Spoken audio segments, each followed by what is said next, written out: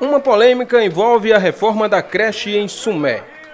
Denúncias de irregularidades surgiram antes mesmo da sua inauguração.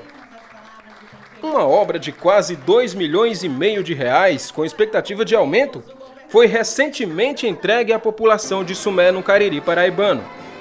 A cerimônia de entrega da reforma e ampliação da creche Rita Cipriano contou com a presença do governador da Paraíba e do prefeito da cidade. No entanto, a população não foi informada das polêmicas que cercam essa obra. Uma denúncia está circulando no Ministério Público formulada pelos vereadores Dida Alves e Fontinelli. Durante uma inspeção na obra, os vereadores descobriram irregularidades que questionam a qualidade da construção e a segurança das crianças e profissionais da educação infantil. Entre as principais denúncias está o superfaturamento dos produtos, uso de materiais de baixa qualidade e reaproveitamento de estruturas antigas e má execução da obra, comprometendo a segurança de todos. A CTV teve acesso a vídeos enviados ao Ministério Público que mostram o vereador Fontinelli na obra durante sua reforma. As imagens são preocupantes. A primeira imagem já é alarmante a mostrar ferragens inadequadas. Nota-se a diferença entre a ferragem da base e o ferro que sustenta a parte superior da estrutura, evidenciando o uso de materiais inadequados. O reaproveitamento da estrutura antiga também é preocupante. Essa outra imagem mostra a sustentação das paredes com ferragens antigas e inapropriadas sendo utilizadas. Nessa outra imagem, mostra problemas no reboco e nos blocos de tijolos.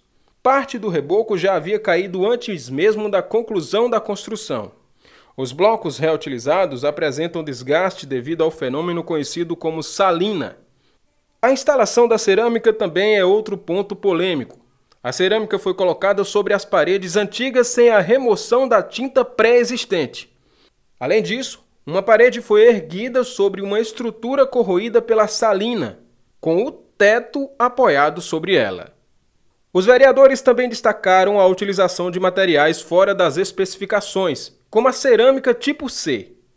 Uma rápida pesquisa revela que cerâmica do tipo C é material que já sai da fábrica com defeito. A despreocupação com a segurança das vidas humanas é alarmante. Uma das imagens mostra uma estrutura de sustentação com ferragens mais fina, lembrando o trágico acidente que vitimou o jovem Heron em uma praça pública da cidade, quando uma pedra mal posicionada esmagou sua cabeça. O custo da obra também é outra grande preocupação. Os vereadores Dida Alves e Fontinelli questionam no Ministério Público o valor gasto em uma simples reforma, alegando que com a quantia seria possível construir uma creche nova do zero.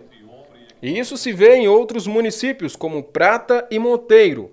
Eles optaram utilizar o recurso federal para construir novas estruturas a partir do zero ao invés de realizar reformas. Enquanto o Ministério Público não toma uma decisão, crianças e funcionários frequentam diariamente essa estrutura, sem saber do risco iminente que pode desabar sobre suas cabeças. Essa não seria uma cena inédita em Sumé, e esse filme ninguém quer ver novamente.